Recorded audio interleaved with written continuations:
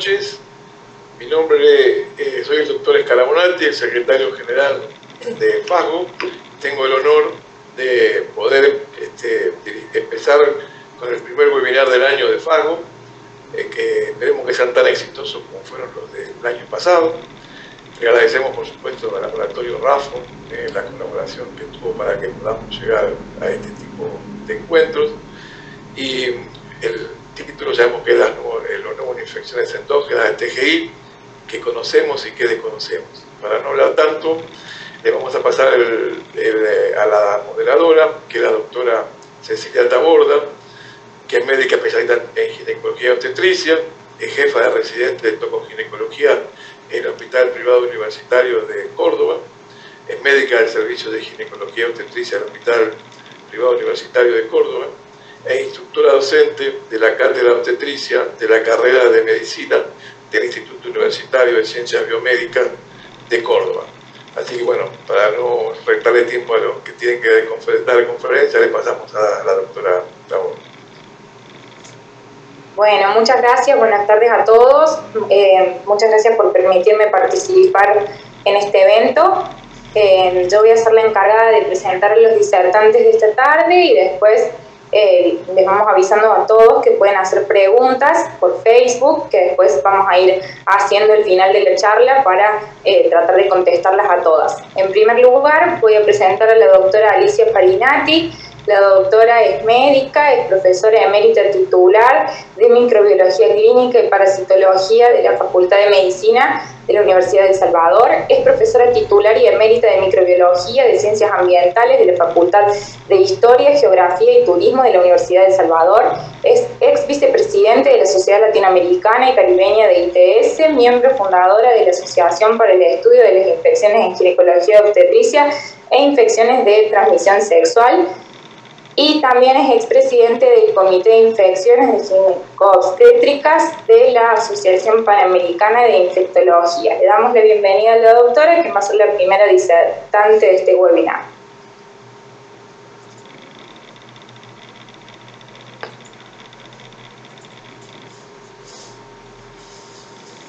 Bueno, muchas gracias por la presentación. Eh, sin más, para no perder tiempo y dejar lugar luego para las preguntas, eh, voy a, comenzar con eh, la presentación aclarando entonces que primero agradezco a Fasgo la confianza que han depositado tanto en mí como en Adrián para desarrollar este tema.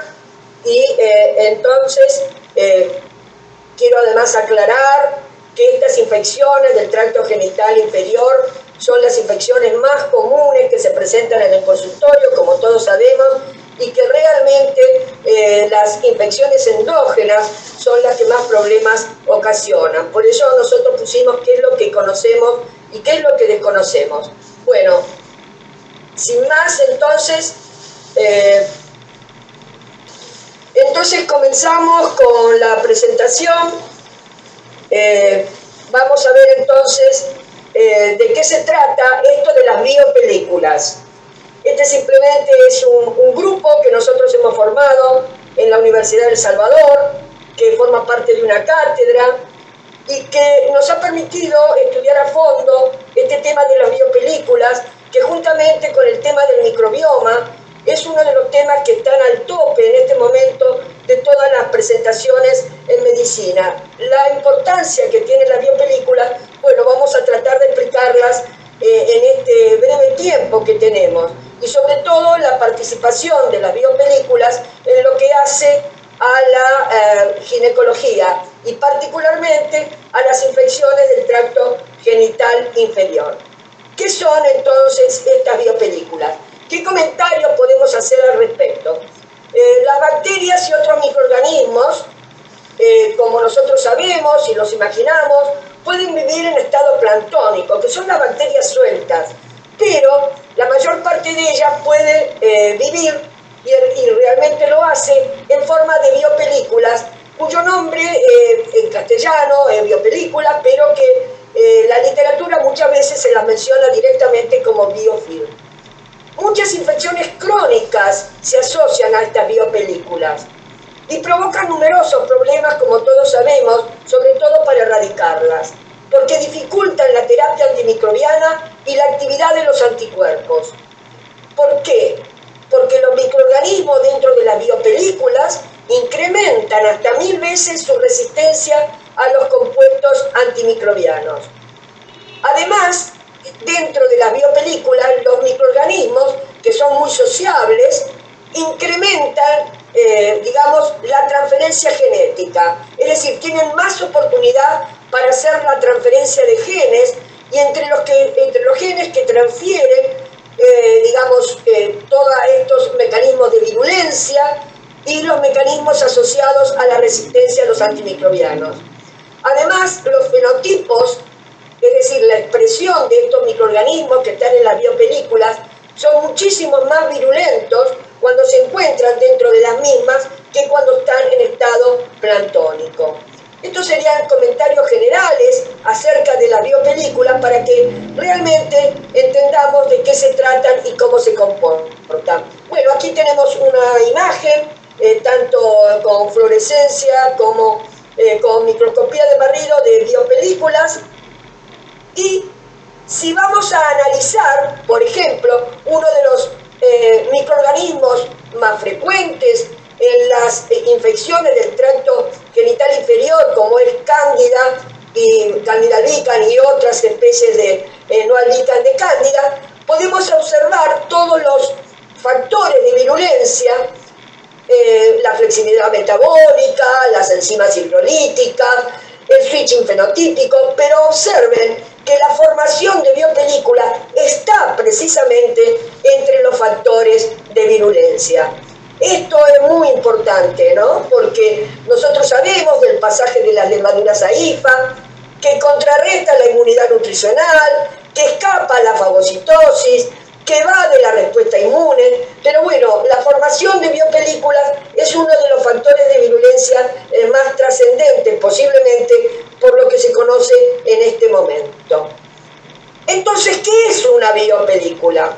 Es un ecosistema microbiano muy organizado que está conformado por una o varias especies de microorganismos asociados a una superficie viva o inerte. Es decir, nosotros podemos tener una biopelícula sobre un tejido, como puede ser la vagina, como puede ser el intestino, como puede ser la faringe, pero también podemos tener una biopelícula sobre un catéter, una sonda urinaria o una prótesis. Y tienen eh, características funcionales y estructurales muy complejas. Las células planctónicas, es decir, esas células sueltas que nosotros siempre imaginamos, a las levaduras o a las bacterias, se adhieren a la superficie sustrato formando una comunidad. Prácticamente forman como una especie de órgano, que es muy difícil a veces imaginarse las bacterias formando como un órgano. ¿Y por qué digo un órgano? Porque dentro de la biopelícula las bacterias, las levaduras o bacterias y levaduras y, otros microorganismos se comunican entre sí a través de señales que son los quorum sensing, que esto es importante en el futuro para poder inhibirlos a estos quorum sensing y entonces lograr que la biopelícula no se forme. Además, una de las particularidades que tiene, y a esto nos vamos a referir especialmente, es la excreción de una matriz extracelular adhesiva protectora, que es el exopolímero. Ese exopolímero forma una verdadera barrera eh, entre eh, los microorganismos que están en el interior y el exterior. Entonces, acá tenemos las etapas de formación de una biopelícula. La primera es la adherencia, acá vemos cómo los microorganismos se van pegando, esta etapa es eh, reversible, pero ya luego que comienza la colonización y la excreción del exopolímero, ya es irreversible. Entonces los microorganismos se comienzan a agrupar, a formar estas estructuras, inclusive forman estructuras fungiformes, como puede ser esta que aquí se ve en, dos planos, pero si uno lo viera en tres planos, esto sería como una especie de hongo.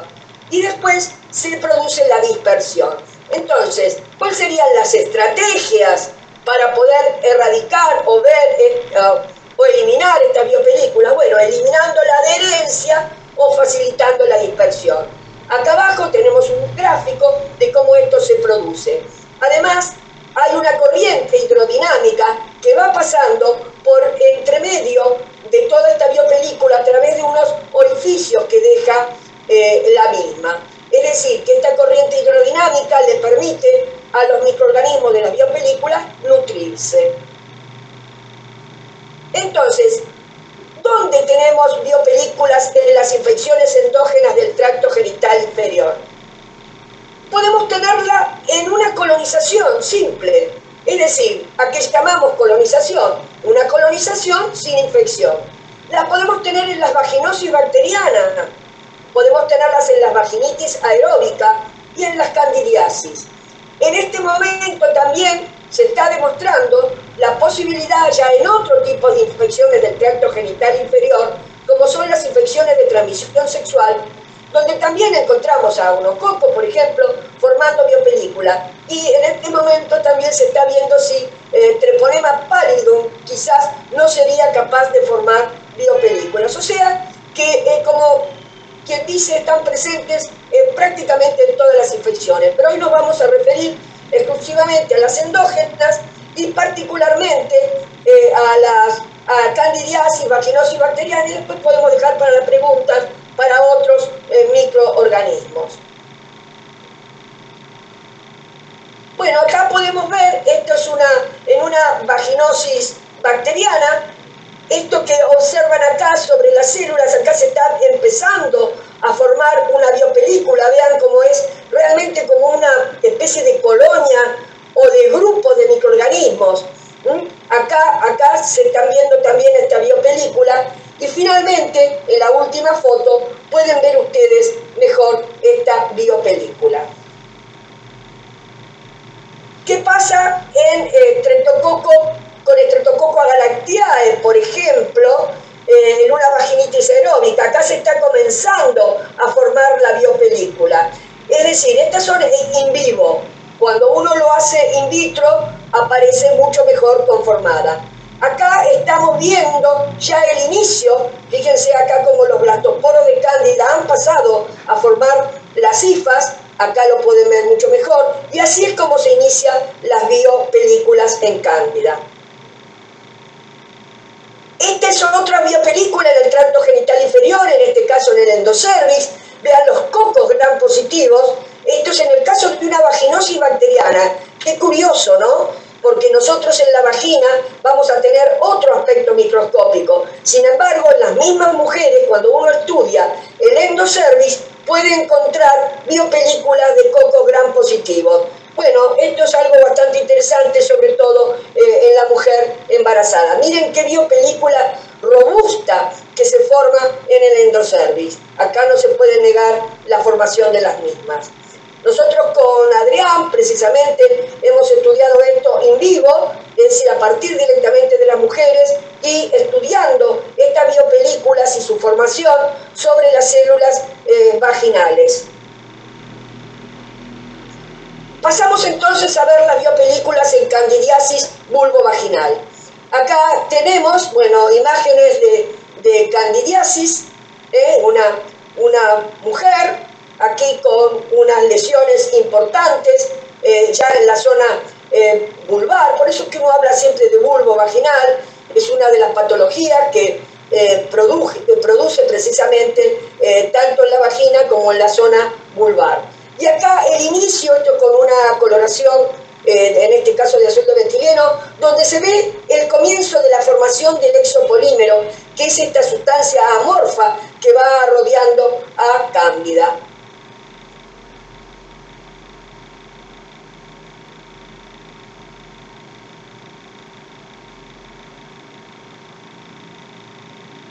Tener en cuenta que otras patologías que no son cándidas ¿eh? que es una candidiasis como es la vaginosis simplística, que puede tener una presentación más o menos eh, similar.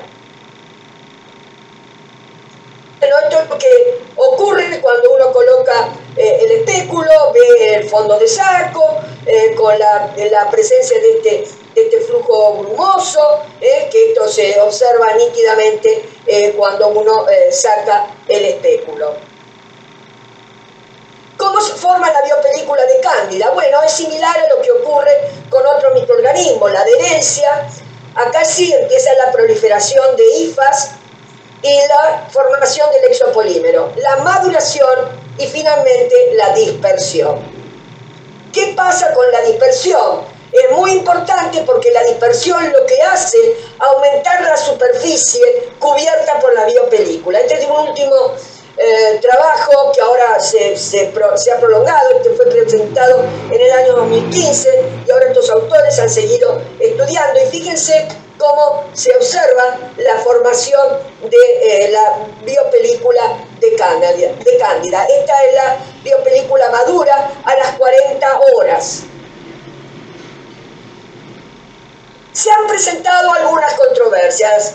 El año pasado, en un curso que se hizo en el hospital italiano, eh, se presentó una, no una controversia, pero sí un trabajo del doctor Alexander Switzinski que decía que no había formación de videopelículas en Cándida y que solamente lo que hacía era penetrar. Bueno, yo me puse en contacto con Switzinski porque es importante solucionar esta controversia, por, inclusive por la terapia que uno puede realizar. Bueno, yo le mostré las fotos que habíamos de lo que habíamos realizado con eh, experiencias in vivo y ex vivo y le mostré todas las fotos que nosotros teníamos. Bueno, finalmente me dio la razón de que sí se formaban biopelículas en el tracto genital, porque él lo que hizo fue hacer cortes y lo que estudió fue histológicamente, pero no hizo el estudio eh, progresivo. Nosotros lo que hacemos es estudiar el desarrollo de las biopelículas. Es decir, que vamos eh, estudiándolas cada tantas horas para eh, obtener lo que ahora nosotros vamos a ver. Miren, esta es una biopelícula, miren cómo se va formando. Acá tenemos solamente lactoporos, acá ya tenemos la presentación de la IFA, que esto sí es lo que dice el doctor Alexander, pero está eh, la formación de la biopelícula. Eh, además es interesante comprobar que en el interior de las biopelículas aparecen tipos de células diferentes de cándida. Ustedes pueden apreciar acá la presencia de unas eh, blastoporos como si fueran eh, un nido de abeja. Bueno, estos son los distintos tipos de blastoporos que se presentan en las biopelículas. Posiblemente esto obedezca a diferenciaciones metabólicas que se producen dentro de la misma. Acá vemos entonces también el inicio de la formación. Y esto no, puede, no podemos negar, esta biopelícula, esta es una célula vaginal, Miren cómo acá aparecen los distintos eh, aspectos que tienen los blastoporos. Estas son diferenciaciones metabólicas, posiblemente aquí esté eh, sufriendo algún tipo de alteración. Y lo que les quería mostrar eh, fundamentalmente es la formación del, bio, del exopolímero. Miren qué robusto que es el exopolímero. En este caso es una biopelícula mixta, ¿no? Acá se ve cándida y acá entre medio no se distingue acá bien en la foto, pero acá entre medio hay eh, otro tipo de microorganismo. La importancia que tiene esto, porque ese exopolímero es una verdadera barrera y nosotros tenemos que destruir este exopolímero para poder llegar a, cándida, en este caso, que está en el interior de la biopelícula. Acá tenemos la, eh, la biopelícula de cándida y otros microorganismos, en este caso con estreptococos.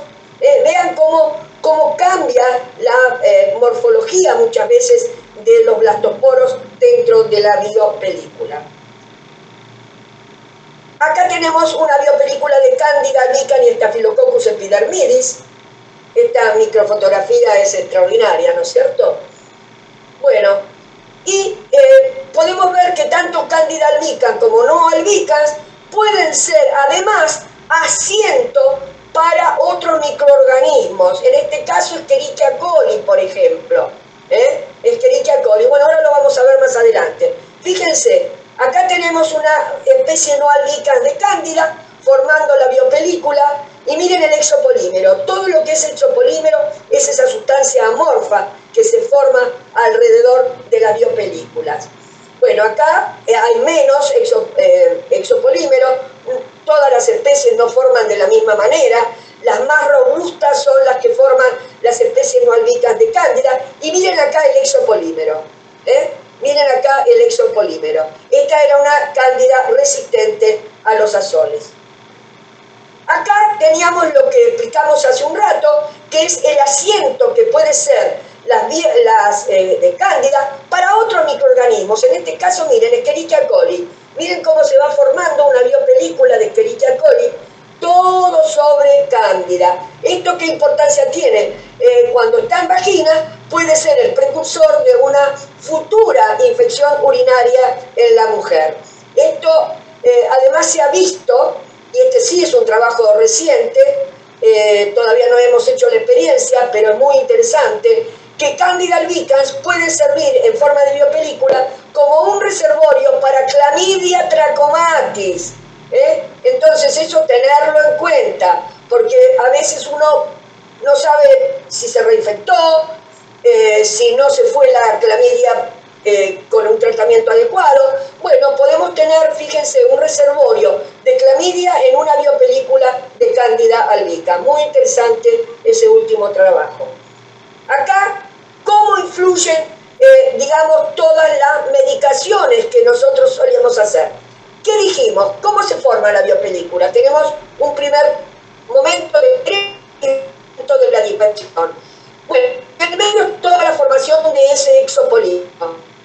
Administramos medicaciones, vimos que las biopelículas exponen una verdadera barrera frente a los antimicóticos, en este caso, o los antimicrobianos, en el caso de bacterias.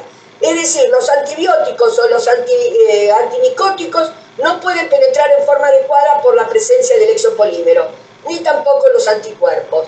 Entonces, nosotros lo que tenemos que hacer es tratar de encontrar algo que o que destruya el exopolímero o que directamente pueda penetrar eh, ojalá encontráramos algo que penetre directamente dentro de la biopelícula o inhibir la formación de las biopelículas. Bueno, acá tenemos un estudio que hicimos comparando la clindamicina ketoconazol versus el metronidazol miconazol. Este fue un estudio que desarrollamos en la Universidad de Salvador, que hicimos eh, eh, concretamente con un protocolo de trabajo del de del vicerrectorado de investigación y desarrollo de la universidad. Bueno, esto es antes de, de, cualquier tipo de tratamiento. Acá un testigo, obviamente para comparar, se hace un testigo de la biopelícula. Miren la célula epitelial vaginal acá con eh, la biopelícula testigo. Acá está el tratamiento con eh, clinda, eh, vicina, ketoconazol y acá con metronidazol, miconazol. Fíjense que en este caso mantiene por muchísimo más tiempo la formación de la biopelícula como se puede observar aquí, mientras que acá se va dispersando, se va dispersando. Nosotros eso es lo que hemos encontrado, de tal manera que si nosotros logramos dispersar la biopelícula vamos a poder encontrar a los microorganismos aptos para poder ser, eh, digamos, eh, eh, atravesado, por así decirlo, eh, con los eh, azoles o con el antimicótico que, que exista.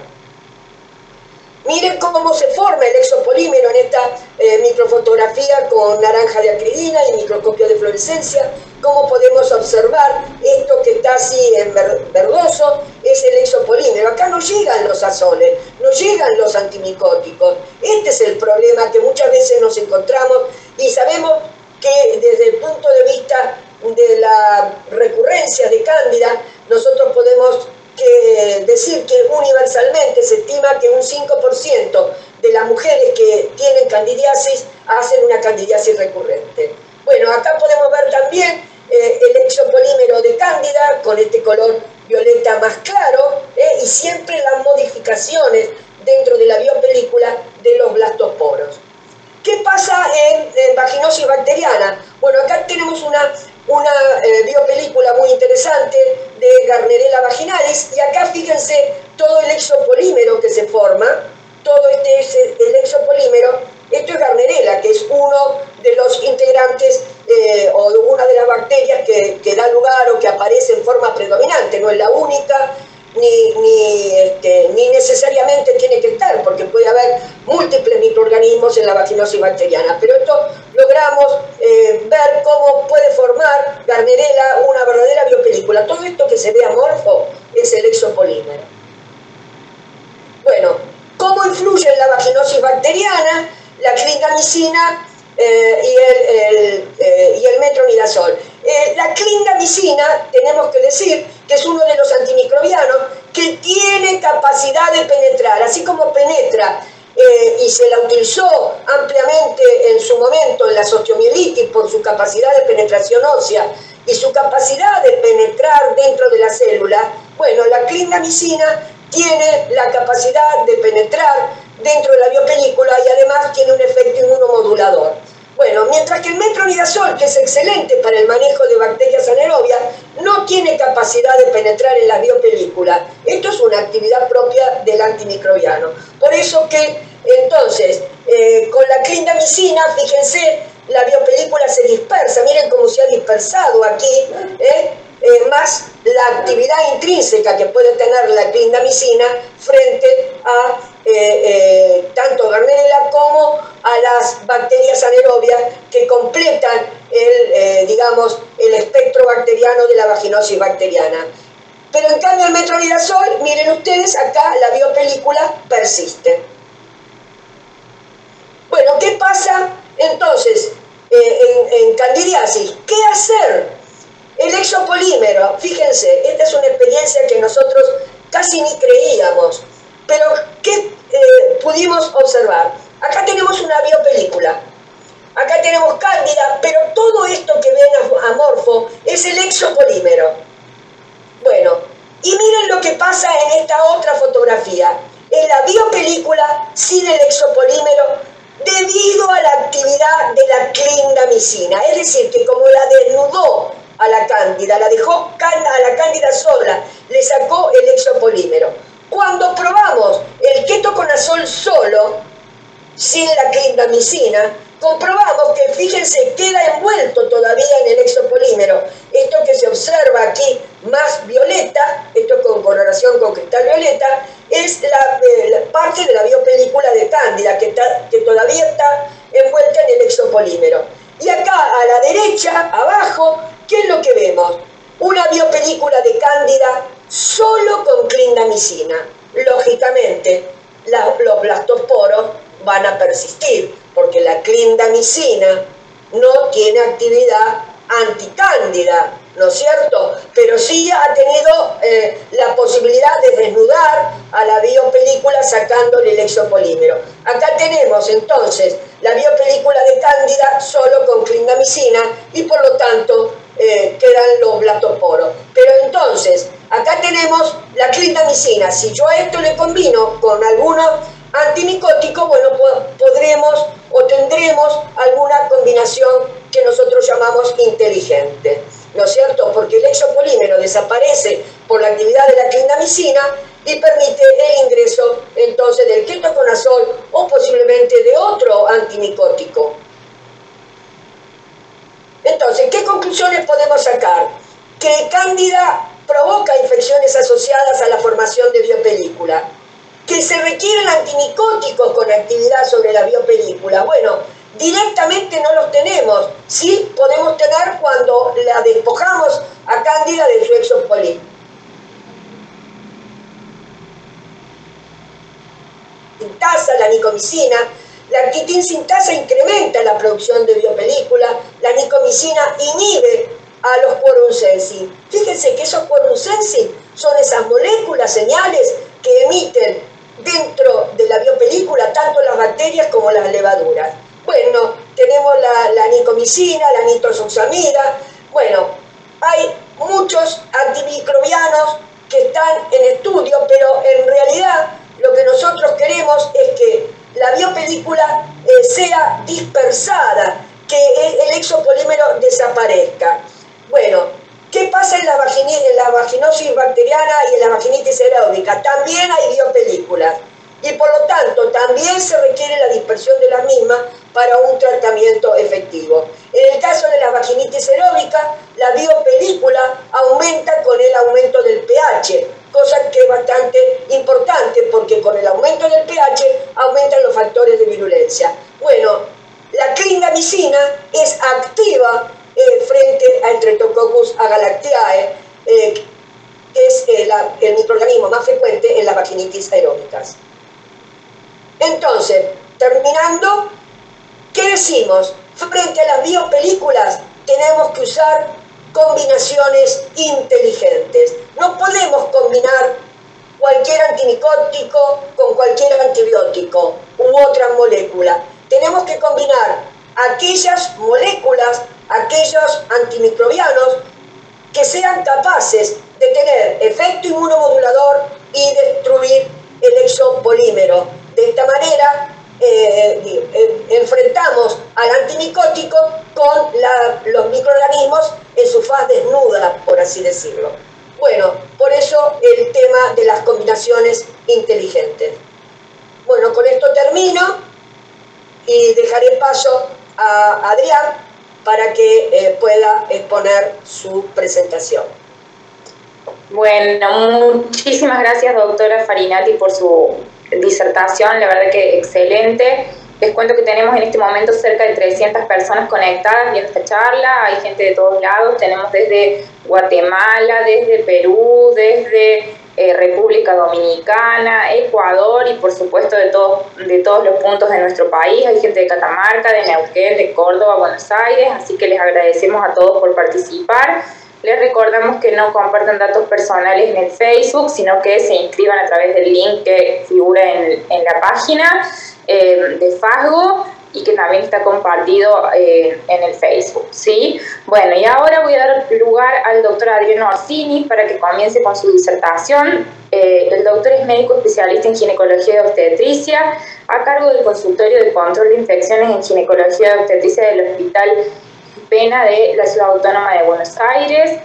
Eh, consultorio de control de infecciones en ginecología y obstetricia del Hospital General de Agudos José María Pena. También es miembro de la Sociedad Argentina de Patología del Tracto Genital Inferior y Colposcopía, ex miembro del Comité de Infecciones Urinarias de la Sociedad Argentina de Nefrología y miembro fundador y ex vicepresidente de ASAIGO ITS. Así que le damos la bienvenida al doctor para que comience con su charla. Bueno, muchas gracias Cecilia. Vamos a compartir pantalla.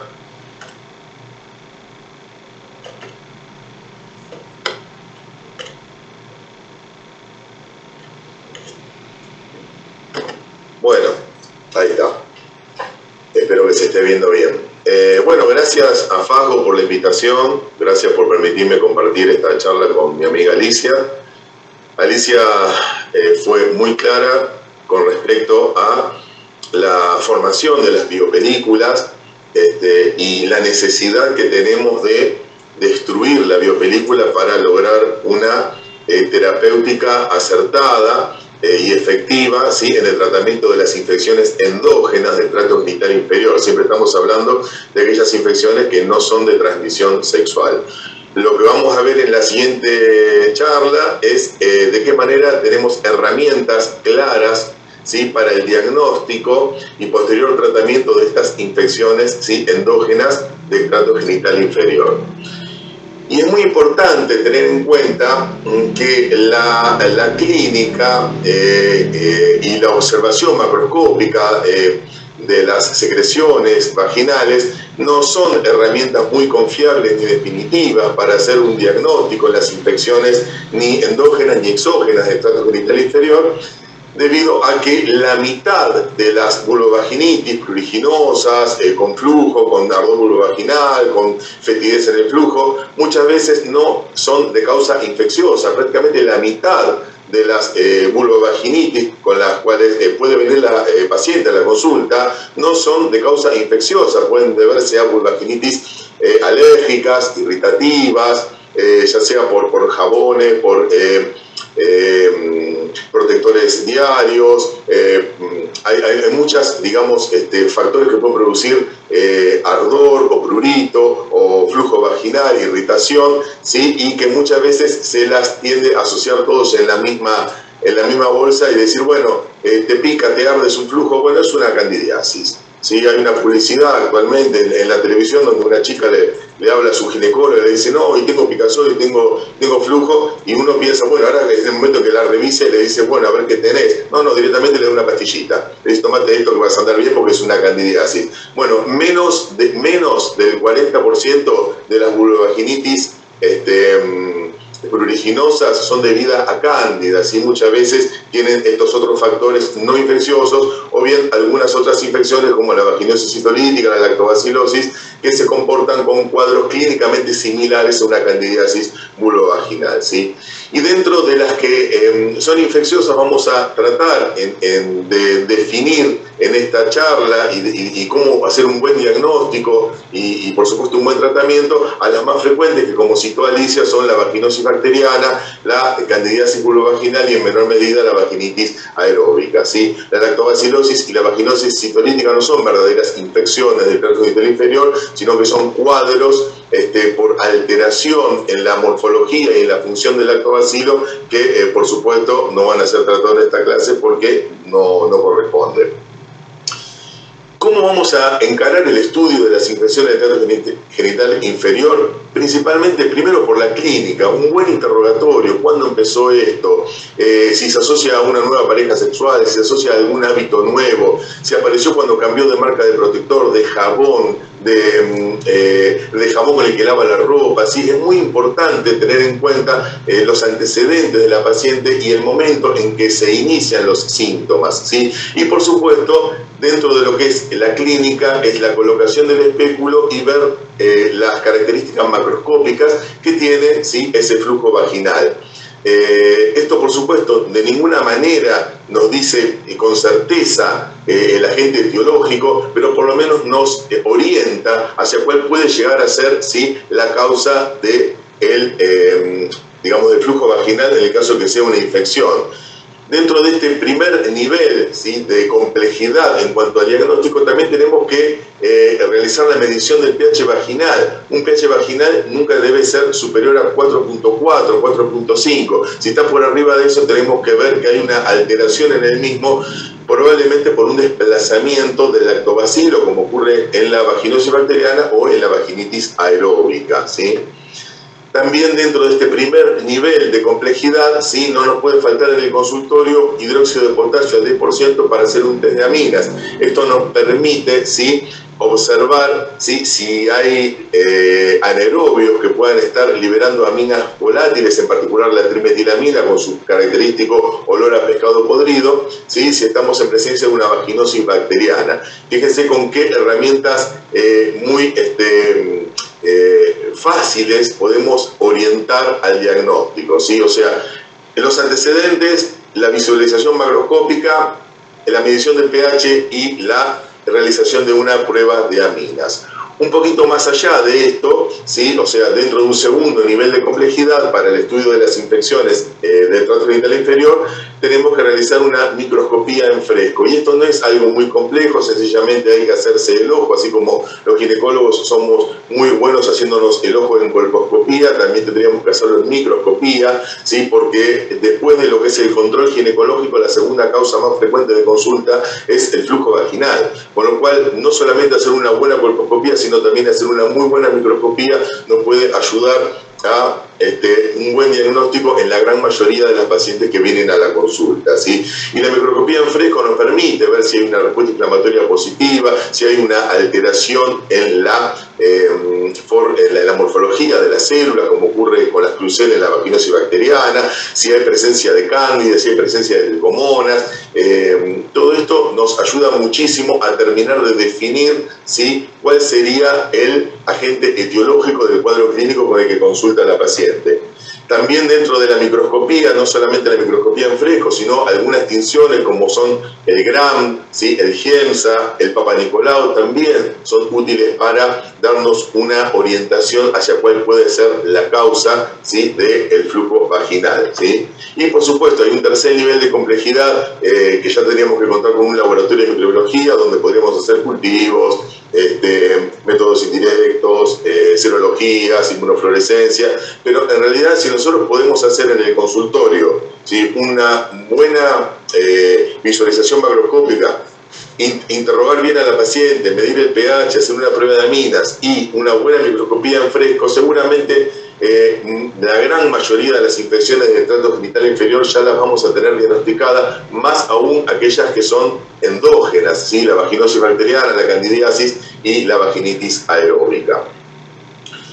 Cuando nosotros realizamos este tipo de pruebas, vamos a ver que las características de una secreción vaginal normal, ¿sí? que se origina en el trasudado de la pared vaginal, la vagina no tiene glándulas, ¿sí? y en el moco cervical, a partir de glándulas endocervicales, es una secreción que es clara, blanquecina, inodora, o, por lo menos si tiene olor no es un olor desagradable, con pequeños flóculos, con un pH que siempre va a estar por debajo del 4.5. Si nosotros le, le, realizamos una prueba de aminas, ¿sí?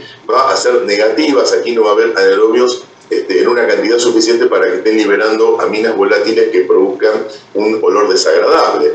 Y en la microscopía vamos a ver células epiteliales planas obtenidas por descamación, que pueden ser superficiales, intermedias, parabasales, dependiendo del momento del ciclo o de la edad de la paciente, pero sí con bordes enteros, ¿sí? no, no como ocurre con las eh, de la vaginosis bacteriana, donde tenemos una lisis celular, con una respuesta inflamatoria negativa, estos menos de 10 polimorfonucleares por campo de 400 aumentos, sí, y por supuesto un claro predominio de flora vacilar, de flora lactobacilar. ¿sí? Esta sería la característica que vamos a encontrar en una paciente que no posee una infección endógena.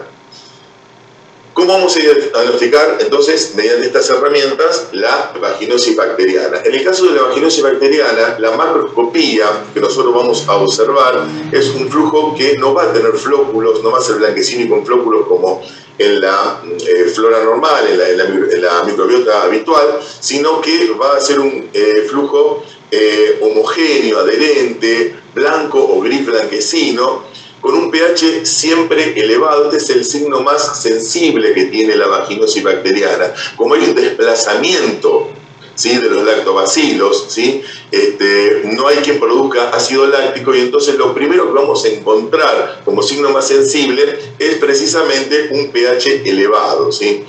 La prueba de aminas eh, suele ser positiva hasta en un 80% de los casos, ¿sí? por liberación de eh, trimetilamina cuando colocamos una sustancia bien alcalina como es el hidróxido de potasio, ¿sí? ahí se olor característico a pescado podrido. Y en la microscopía lo que vamos a observar como signo más específico son las clue cells, o células dianas, células clave, ¿sí? Que son células que están modificadas, alteradas, lisadas por esta flora GAM, ¿sí? que se ven como pequeñas milanesitas, ahora vamos a ver fotografías. ¿sí?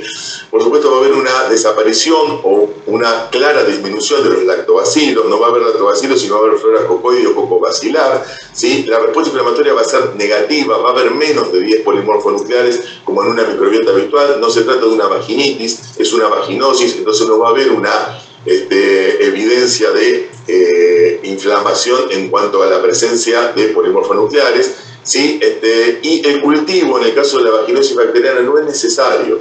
Si nosotros tenemos la característica macroscópica de ese flujo con un pH elevado, una prueba de aminas positiva y la presencia de cells, el diagnóstico de vaginosis bacteriana ya está hecho. Muchas veces el test de aminas ya nos lo viene refiriendo a la paciente, porque la paciente refiere que cuando se higieniza, ¿sí? con, agua, jabón, o bien cuando menstrua, o bien cuando mantiene relaciones sin eh, profiláctico, ¿sí? ya ella siente olor desagradable, olor a pescado. ¿Por qué? Porque el agua, porque la sangre, porque el semen son de alguna manera sustancias que son más alcalinas que el flujo vaginal normal y este, ponen en evidencia la eh, presencia de esas aminas volátiles y la paciente ya nos viene refiriendo que ante esas circunstancias hay olor desagradable. ¿sí?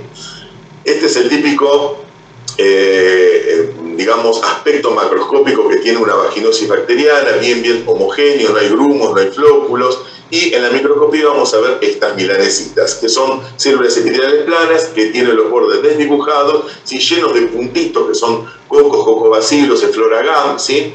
Y fíjense el fondo de esta, de esta diapositiva que no hay palitos como solemos observar con el lactobacilo, sino que todos puntitos, ¿sí? Eso es bien, bien característico de la vaginosis bacteriana, ¿sí?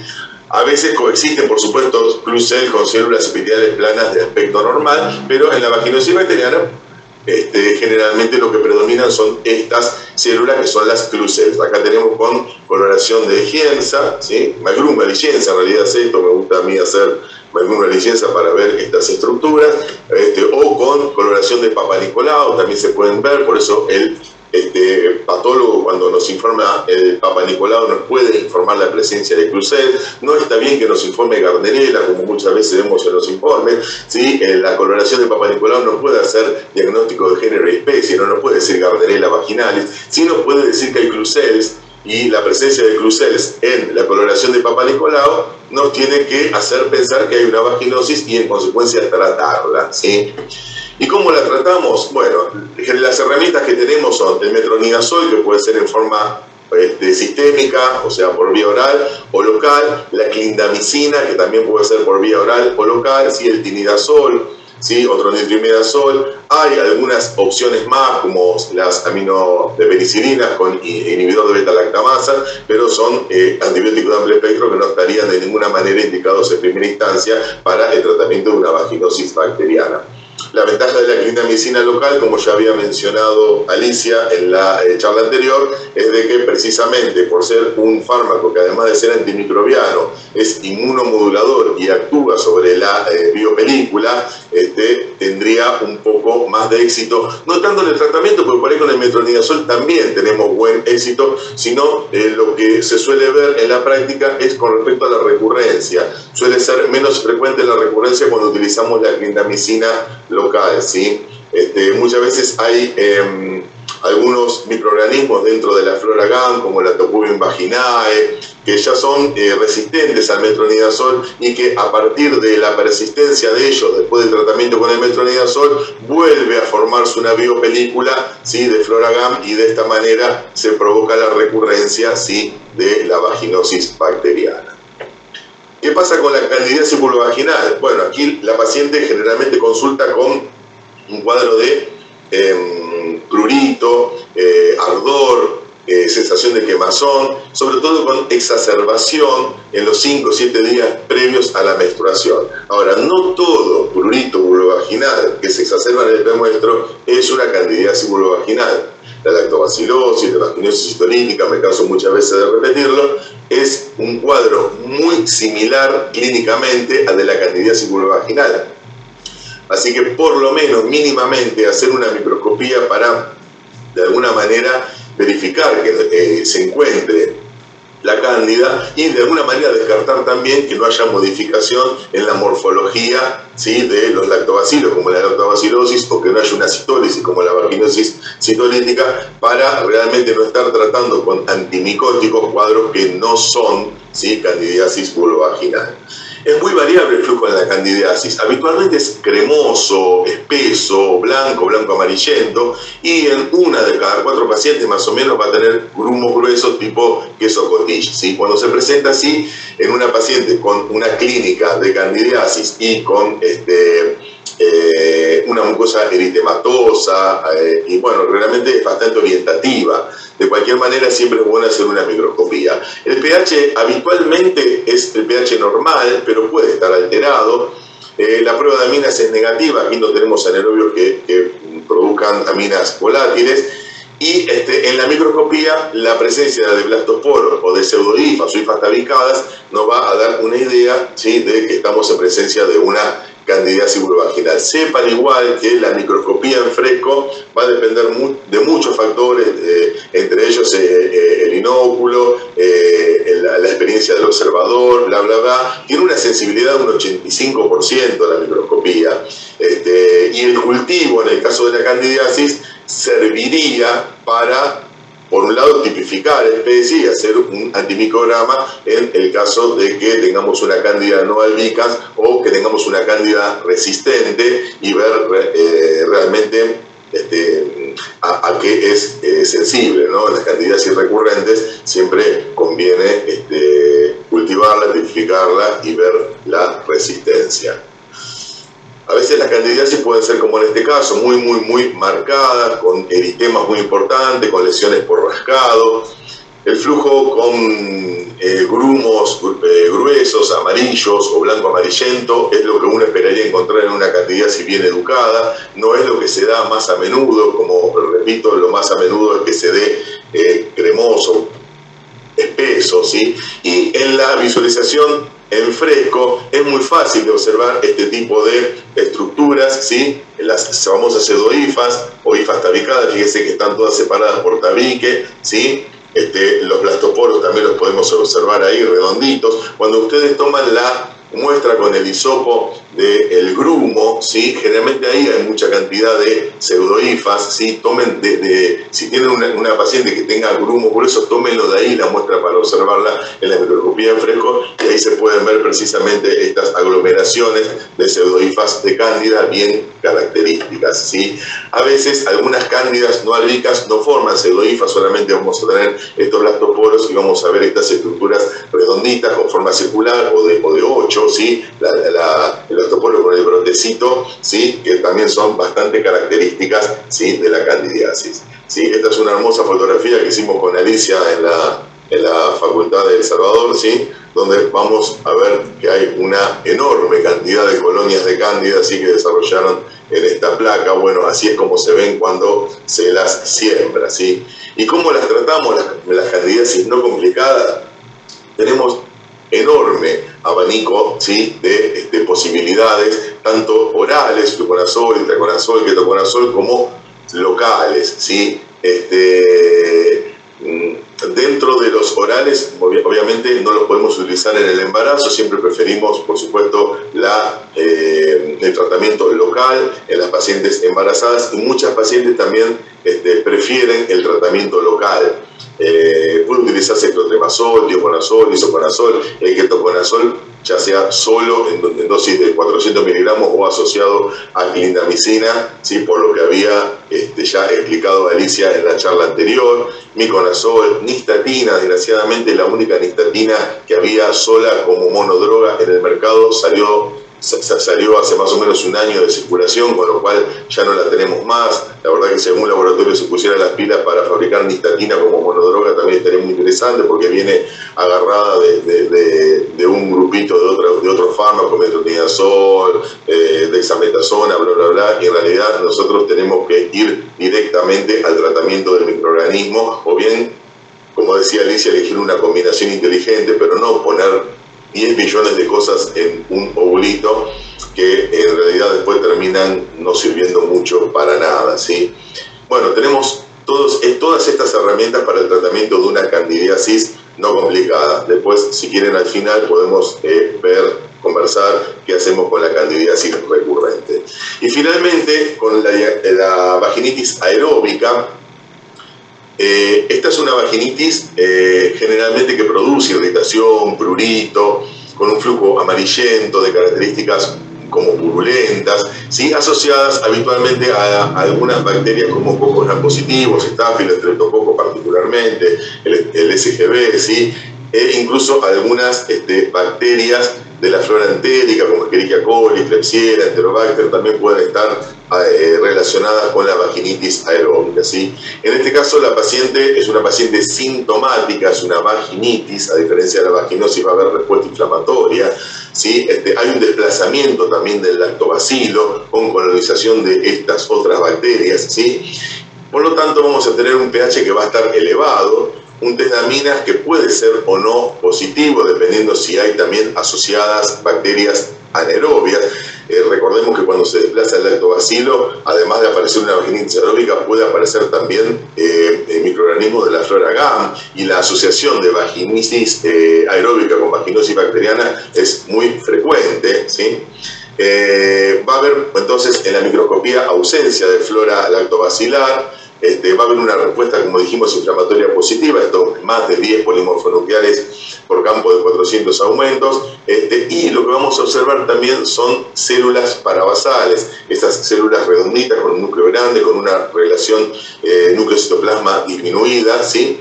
Que son características este, en la vaginitis aeróbica. Si nosotros cultivamos, bueno, la más de las veces vamos a ver cocos gran positivos o microorganismos de la flora entérica, como habíamos dicho. Esta es una típica fotografía, ¿sí? En fresco de una vaginitis aeróbica, donde estas células, no sé si me han... Ahí está el cursor, ¿sí? Estas células redonditas, que son células parabasales, bien característicamente las vemos en las pacientes posmenopáusicas, incluso en las puérperas recientes, donde hay eh, bajos niveles de estrógenos, ¿sí? y donde vamos a ver descamación de las células parabasales. ¿sí?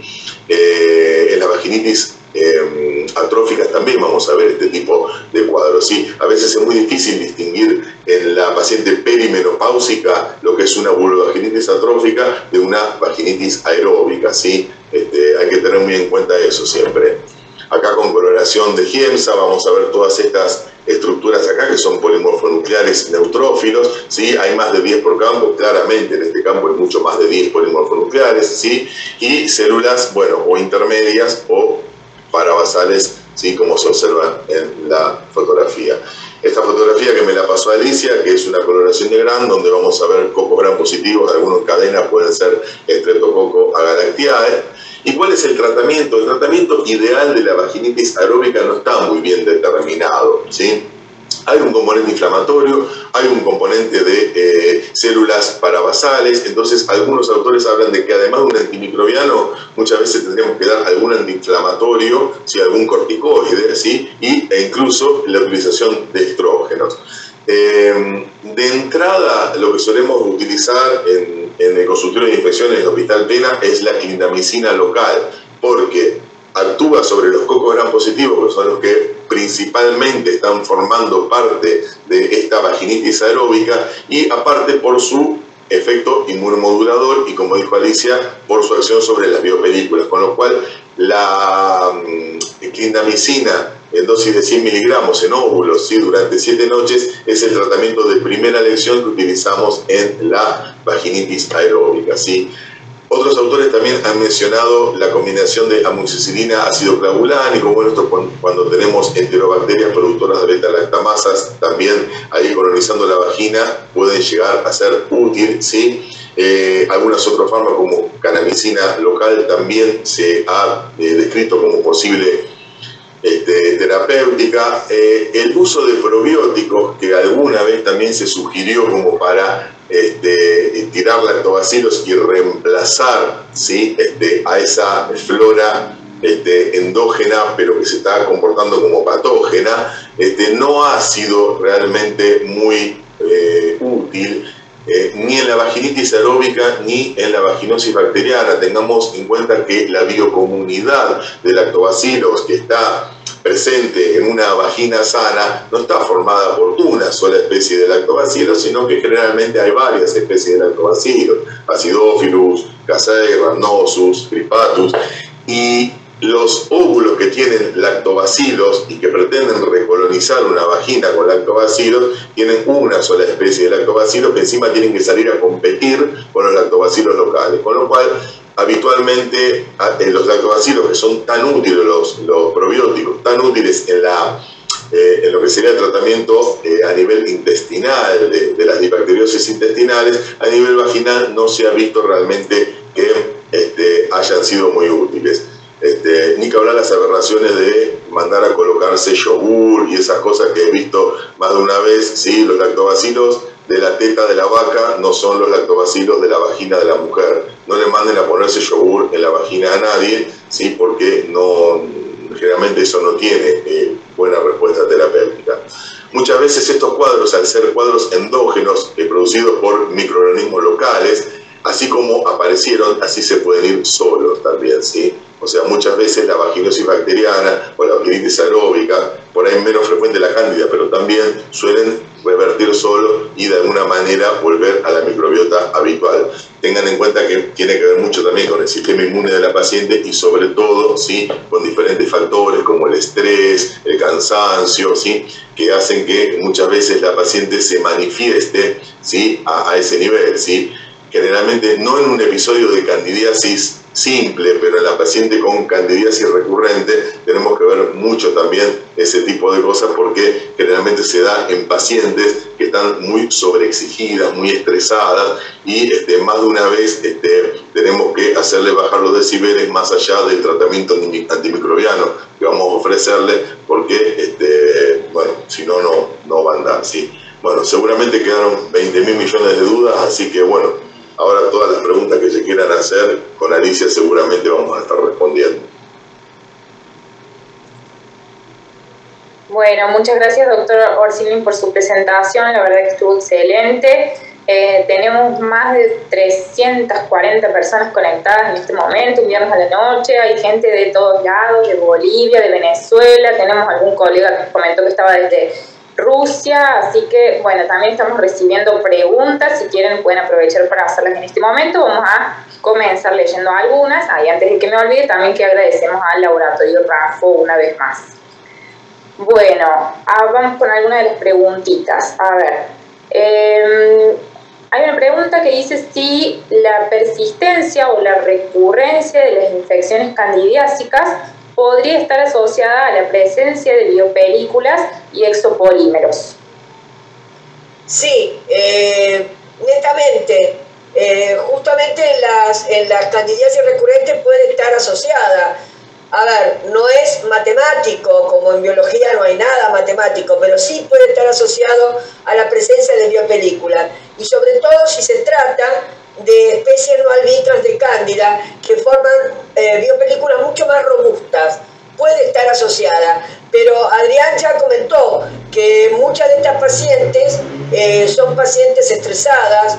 El, nivel de estrés, cuando es muy grande, eh, facilita la recurrencia de las infecciones. además, la inmunología, no nos olvidemos que también muchas de estas patologías que son endógenas realmente eh, pueden estar ligadas a fenómenos inmunológicos. Pero sí, la biopelícula está eh, postulada por, eh, digamos, se va a llevar el premio en lo que son las infecciones crónicas o las infecciones persistentes, no solamente en vagina, sino en otras patologías como pueden ser las asociadas a prótesis, por ejemplo, que no se pueden tratar y que muchas veces amerita la extracción de esa prótesis con todos los riesgos que implica, bueno, pues precisamente por la formación eh, de biopelículas. Muy bien, muchas gracias por la respuesta, doctora. Bueno, otra de las preguntas decía entonces, ¿cuál sería un tratamiento inteligente? Bueno, el tratamiento inteligente nosotros lo llamamos a una asociación que sea compatible con la, con la actividad sobre las eh, biopelículas. Es decir, utilizar un antimicrobiano eh, que sea inmunomodulador per se. Supongamos que existiera, de hecho no, no, no hay, de hecho no hay, eh, que existiera un antimicótico con una verdadera capacidad inmunomoduladora que de esa manera a lo mejor, a lo mejor digo, podría penetrar dentro de la biopelícula, en el caso de los antimicóticos. Con respecto a los antibacterianos, existen eh, antibióticos, eh, digamos, inmunomoduladores y con capacidad de penetrar. La clindamicina es uno de ellos, las tetraciclinas son otros, las fluoroquinolonas son otros.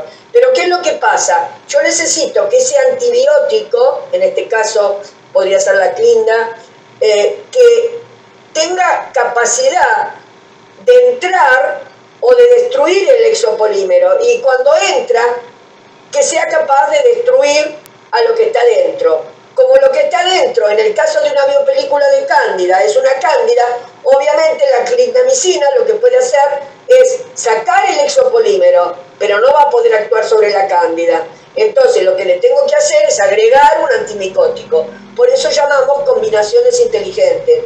Es decir, el, uso de algo que pueda modular o facilitar la, eh, digamos, la disolución o la dispersión del exopolímero y al mismo tiempo que haya otra molécula capaz de actuar sobre cándida. En el caso de una vaginitis eh, por cándida, de una candidiasis vaginal, en el caso de una, eh, digamos, vaginosis, donde puede haber una combinación con cándida, pero hablemos de una vaginosis bacteriana común, bueno, ahí la clindamicina ya lo mostró, es uno de los antimicrobianos ideales para el manejo eh, de, la, de la vaginosis, porque además de actuar sobre el exopolímero de las, los microorganismos que están conformando esa biopelícula, tiene actividad per se ¿eh? Eh, sobre bacterias anaerobias, etc. En ese caso, la clindamicina solo, pero si yo estoy pensando en algo eh, que tenga que actuar sobre, sobre cándida y el exopolímero, bueno, ahí pienso en la combinación inteligente. Es eso lo que, lo que a nosotros nos llevó a estudiar precisamente la combinación clindamicina eh, precisamente eh, conociendo cómo se forman o cómo se producen o se, o se desarrollan las biopelículas de cándida. Es decir, por un lado tenemos la cándida desarrollándose y por otro lado la producción de su exopolímero. Entonces, ¿cómo hago para, para juntar las dos cosas? Tengo que sacar el exopolímero para actuar sobre la cándida. Eso es lo que nos llevó a estudiar distintas combinaciones de antibióticos con antimicóticos. ¿eh? porque estudiamos el metronidazol con el miconazol, estudiamos esas combinaciones, pero bueno, no nos dieron resultados porque el, el metronidazol, que es excelente para el manejo de bacterias aerobias, no puede eh, penetrar dentro de las biopelículas ni tiene actividad inmunomoduladora. Una, una cosa más agrego, cuando vos hablas del tratamiento inteligente, en realidad eh, lo más inteligente es saber qué estamos tratando. El problema de la mayoría de las fallas terapéuticas es que como no se estudia correctamente a la paciente, se le ofrece un tratamiento empírico que muchas veces es desacertado. Entonces es muy frecuente que venga a la consulta pacientes que tienen una bolsa enorme con cajitas de este, todos los antimicrobianos que les fueron siendo indicados a lo largo de un año, dos años, tres años, y cuando uno le pregunta, bueno, pero ¿y qué tenías? ¿Por qué te dieron esto? Y a mí me dijeron que tenía hongos, a mí me dijeron que tenía, no sé, le dieron tratamiento a mi marido, le dieron tratamiento a, no sé, a mis hijos, pero ¿cuándo, pero ¿cuándo te estudiaron? No, no me estudiaron nunca. Entonces, realmente para ofrecerle un tratamiento inteligente tenemos que saber qué tiene la paciente, ¿sí? Entonces, si no estudiamos a la paciente, muy, muy poco vamos a poder lograr en cuanto a una verdadera efectividad terapéutica, ¿no? Eh, Adrián, a veces te pueden decir eh, como me pasa también y te pasa a vos, que bueno, pero yo no, nunca me mandaron a hacer un estudio eh, y además a lo mejor, y esto lo digo con todo respeto, eh, muchas veces el ginecólogo ni siquiera a veces pone un espéculo para estudiar a la paciente o no hace una anamnesis correcta y por teléfono también muchas veces le, le dice que se coloque tal cosa o yo tengo tal cosa en mi casa, entonces bueno, usalo eh, es, es, terrible eso porque los, las pacientes vienen con una bolsa, a mí me ha pasado que vienen con una bolsita llena de cajitas, este, tubitos, eh, cremitas, que le han dado a través del tiempo, ¿no? Entonces, este, y que no han podido resolver el problema. Eh, eso es lo que es muy importante, por lo menos tener lo que, lo que vos mencionaste muy bien, la aproximación diagnóstica, por lo menos.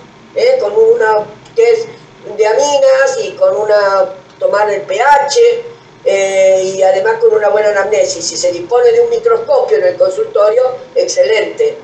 Pero para aquellos que no disponen de un microscopio, bueno, tomar el pH y la prueba de aminas se puede hacer perfectamente y con eso tenemos una orientación por lo menos. ¿eh? No hay ninguna vaginosis bacteriana con un pH menor de, digamos, un pH normal. No vamos a tener ninguna vaginosis con un pH de 3 o de 3,5. Eso nunca. Entonces es, orientador por lo menos. Bueno, eh, un poco sobre esto, había algunas preguntas con respecto a si se puede solicitar junto con el cultivo de flujo algún examen en fresco Em, del flujo vaginal y por otro lado si está recomendado de rutina hacer fungigama a todas las pacientes. ¿El examen fresco lo debería hacer el laboratorio? Eso es lo que iba a contestar. Eso, eso entra dentro del estudio normal o habitual de cualquier muestra clínica, así como se estudia un sedimento de orina, cuando uno hace un, un cultivo, eh, la persona que hace el urocultivo nunca va a dejar de, hacer el, estudio del sedimento. Bueno, en el, en el flujo vaginal el examen en fresco es mandatorio. El examen en fresco y por coloración, si va a un laboratorio, ¿no? Distinto es si lo tiene que hacer en su consultorio, hará un examen en fresco, si no puede hacer una coloración in situ, pero por lo menos un examen en fresco. Ahora, los laboratorios sí lo tienen que hacer, de rutina. Perfecto, muy bien. Bueno, hay algunas preguntas respecto a si habría algún beneficio eh, con el ayuno intermitente eh, para este tipo de... Perdón, ayuno intermitente. Sí, tal cual. Ayuno intermitente con respecto a los cambios en la inmunidad para este tipo de pacientes. Yo no tengo ninguna experiencia, yo creo que la persona que hace ayuno intermitente va a tener hambre nomás. Pero bueno. es la única consecuencia del ayuno intermitente, hambre. Sí, no, yo, eh, hay algunos regímenes en este momento que se están recomendando con ayuno intermitente, pero para adelgazar y todo. Ese tipo de cosas son, eh, yo la llamo la mitología de la medicina, ¿no? Este, es un poco mítico a veces. Eh, ojalá dispusiéramos de inmunomoduladores concretos, correctos, que tuvieran una actividad muy específica, que tuviéramos inclusive antimicóticos o antibacterianos que actuaran eh, exclusivamente sobre los quorum sensing, que son esas moléculas que, digamos, que se intercambian los microorganismos dentro de las biopelículas. Bueno, eh, nosotros estamos trabajando algo con el xilitol, que, tiene alguna actividad sobre los quorum sensing, eso lo hemos visto, pero bueno, todo eso eh, tiene que ser todavía comprobado, más estudiado. Hemos visto la actividad del xilitol sí sobre quorum sensing o hemos visto por lo menos este, una actividad sobre la dispersión eh, de las biopelículas. Pero bueno, eso habría que asociarlo a lo mejor a un eh, antimicótico. En fin, todavía eso está creo que en investigación. Respecto a la sí. con, respecto a la alimentación, hay muchos videitos en YouTube, pero obviamente ofrecidos por no, personas que tienen un conocimiento científico, sino nada, como, como subiría mi mamá o mi papá en una noche de borrachera, donde dice, bueno, los 10 alimentos que debo eliminar para no tener cantidad y los 20 alimentos que debo eliminar para, que no, me... envejecer. claro, pero eso, eso, es todo nada, no, no, no, tiene ningún sustento científico, no, no, no, no, no, hay que estar este, dándole ningún tipo de importancia a ese tipo de cosas.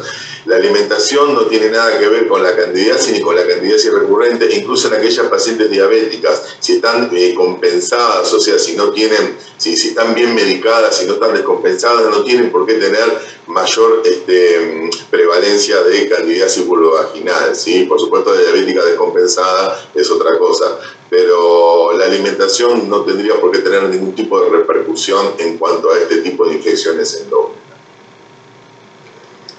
Bueno, muy bien, perfecto. Hay otra pregunta respecto a si el cloruro de, de cualino se lo recomienda para el tratamiento de vaginosis bacteriana o cualquier tipo de infección vaginal. No, no, tengo ningún tipo de experiencia, no sé vos Adrián, ni lo recomendaría tampoco. Muy bien. Bueno, vamos a ver. Estamos esperando más preguntas. Bueno, ¿hay alguna respecto al tratamiento de la candidiasis recurrente? ¿Cuál es lo más recomendado? O para eh, los diferentes tipos de candidiasis, si es por Candida tropicalis, eh, si el tratamiento sería el mismo que para Candida albicans, que nos pueden responder sobre Mira, eh, a ver, Cándida glabra es la que es posiblemente resistente a los triazoles, es muy sensible a la 5-fluocitocina, eh, pero bueno, eh, a veces este, administrado en forma eh, local, puede, los triazoles pueden de, alguna manera tener actividad, se pueden combinar o bien recurrir a otro antimicótico. el uso de ácido bórico, que yo he visto acá algunas preguntas en el chat, eh, se puede utilizar. Algunos dicen que el ácido bórico puede actuar, eh, que en la mujer embarazada, por ejemplo, puede tener efectos deleterios sobre el bebé.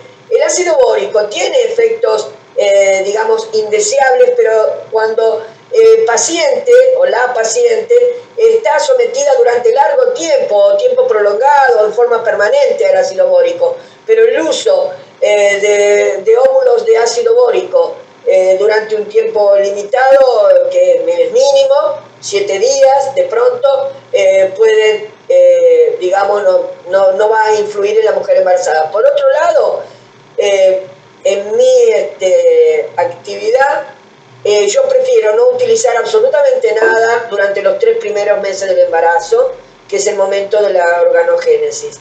Eh, pero bueno, pero el ácido bórico eh, puede ser útil. No sé, eh, Adrián, vos la experiencia que tenés con el ácido bórico.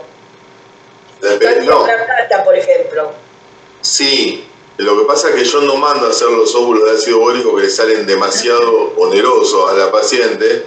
De repente se le puede hacer comprar los sobrecitos de borato de sodio, este, mezclar una cucharadita en un vaso de agua tibia y hacer lavado con una jeringuita este, incluso en la parte externa, este, porque realmente salen fortuna ¿sí? hacer, este, hacer preparados eh, magistrales de, óvulos de ácido bórico este, y no tienen mucho más efecto que el hecho de comprarse el sobrecito, diluirlo en agua y hacer lavados. Y sí, es muy útil en cuanto a, en, cuanto a sobre todo a la sintomatología, porque en realidad la cándida sabemos que es parte de la microbiota normal. Encontrar cándida o que haya una cándida presente no, no es un problema nunca jamás. Lo importante es que la paciente no tenga sintomatología, Este, y en cuanto a la sintomatología, con el ácido bórico, con los lavados con ácido bórico, con ácido de sodio, eh, la verdad, sí, es muy, muy útil para la sintomatología.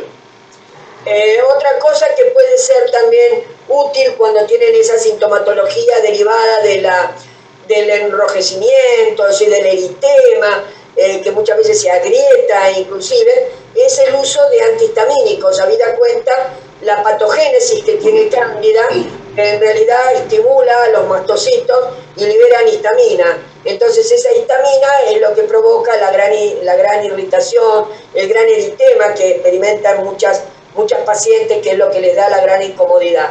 Y a veces con el uso de un antihistamínico de baja dosis eh, durante eh, día por medio, por ejemplo, y por la noche, eh, mejora o calma eh, digamos, alivia la sintomatología. ¿no? Bueno, son, son adyuvantes a un tratamiento específico. Bueno, muy bien. Otra pregunta que un poco fue respondida en, en, la charla ya, pero como para reforzar respecto a la experiencia con la utilización de óvulos de lactobacillus en las vaginosis anaerobias. Bueno, eh, ya Adrián lo, lo contestó, y así como yo soy eh, una, digamos, pro probióticos para el manejo intestinal, porque ahí sí pueden tener eh, éxito, en vagina no, digamos, no, no, me, no me parece que sean tan útiles y al mismo tiempo hay algunas experiencias que hemos hecho con probióticos eh, utilizando los lactobacilos de origen vaginal y los lactobacilos eh, netamente probióticos eh, frente a Streptococcus galactiae. ¿no? Es decir, si yo le coloco un probiótico, le doy un óvulo, por ejemplo, con probiótico, a una paciente que tiene Streptococcus galactiae, Streptococcus galactiae lo que hace es incrementar la producción de hemolicina, que es una, digamos, es una citolicina eh, que si la mujer está embarazada, lo único que va a hacer esa citolicina va a ser poros moleculares en la membrana amniótica y va a facilitar el ascenso de los microorganismos a la cavidad. Entonces es riesgoso en una mujer embarazada. En una mujer no embarazada, yo siempre digo una palabrita, ni, ni bueno ni malo. Ni bueno ni malo, no le va a hacer daño, pero Adrián lo explicó muy bien los lactobacilos no forman, no son de una sola especie los que están en vagina, son de múltiples especies. ¿eh? Eh, tenemos el Cripatus, Gaceri, Iner, que son los principales. Y bueno, habría que ver cómo se comportan y todo lo que es la, la, rivalidad que pueden tener estos, estos lactobacilos eh, con otros microorganismos y además la rivalidad eh, eh, en cuanto a si va a tener dos tiempos de como, como en el fútbol, ¿no? Que va a tener los dos tiempos o simplemente va a poder jugar media hora, ¿no es cierto? Porque hay muchos lactobacilos que sí, pueden quedar un ratito y, y después eliminarse, sobre todo con la secreción mucosa. Eh, habría que estar colocándolos en forma eh, continua. Distinto es en el intestino porque se ingieren, ¿no es cierto? Se administran por vía oral y eso sí que puede estar en forma continua, eh, digamos, pasando al intestino. Esos serían mecanismos muy complejos. yo creo que uno puede decir ni por ahora. Los probióticos, los prebióticos en vagina, distinto es en intestino. Perfecto, muchas gracias doctora. Bueno, hay algunas preguntas respecto a eh, qué se sabe de depilación láser y su relación con las infecciones. A ver, Adrián, ¿querés contestar? No, en realidad yo no, no, tengo mayor incidencia. Es más, hoy por hoy es difícil encontrar una paciente que no esté depilada. Prácticamente no existe eso en el consultorio de ginecología. No, yo no encuentro una relación realmente. ¿eh? Sí, pues diferentes son eh, vulvitis eh, que pueda llegar a haber, pero no, no infecciosa, o sea, no, no, tengo mayor, mayor este, incidencia en eso. Salvo que tenga, que se haya depilado en forma brusca, por así decirlo, y tenga una lesión, y entonces sí se va a producir lesiones en la piel, en la zona pública. Eh, bueno, lógicamente puede haber ese tipo de cosas. Son, son lesiones físicas que pueden llegar a producir irritación, incluso irritación por tiempo bastante prolongado. Ahora, de ahí a, que eso que, está afectando la piel de la vulva eh, provoque, provoque algún, tiempo de, algún tipo de alteración en la microbiota a nivel vaginal, yo no vi que hubiera mayor incidencia. Perfecto, muchas gracias. Bueno, después hay algunas otras preguntas con, que también han sido más o menos respondidas por ahora, pero vamos a hacer una que es respecto al uso de ácido acético vaginal y bicarbonato de sodio como modificadores del pH y si esto mejoraría algo. Qué terrible, yo no haría nada de eso. No. El bicarbonato, el bicarbonato en las lactobacilosis o en la vaginosis citolítica, los lavados con bicarbonato. con lavado, no aplicarlo directamente tampoco para elevar un poco el pH y disminuir el ardor que conlleva la producción sobreaumentada de ácido láctico por parte de lactobacilos que están modificados en su función, en su morfología.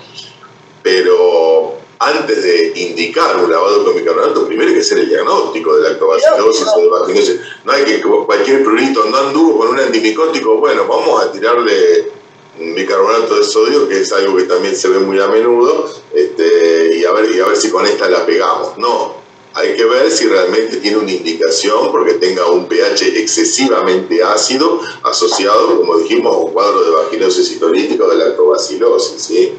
Eh, otra, vez, otra vez lo que se ha hecho en el caso de vaginosis es intentar colocar agua oxigenada, ¿no es cierto? Tampones con agua oxigenada, por ejemplo, bueno, así también han quedado vaginas lastimadas, ¿no es cierto? Porque se coloca el tampón, no se, no, se mide el tiempo, además es algo eh, momentáneo nada más. Es decir, ¿por qué el agua oxigenada? Para suplir el agua oxigenada que no produce, al, haber ausencia de lactobacilos, que son los productores de agua oxigenada, y otros cocos positivos que también producen, bueno, entonces se quiere suplir el agua oxigenada como un método para eliminar a los otros microorganismos. Bueno, eh, así han aparecido vaginas eh, muy lastimadas, muy lesionadas, inclusive con, con lesiones severas.